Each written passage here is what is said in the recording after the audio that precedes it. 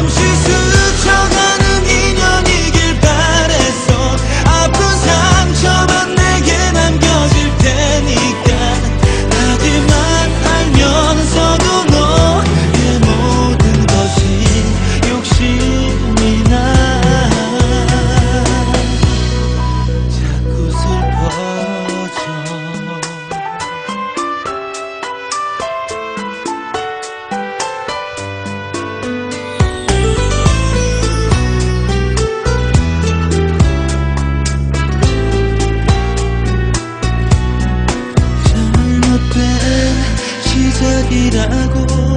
그렇게 쉽게 생각했었는데 언제든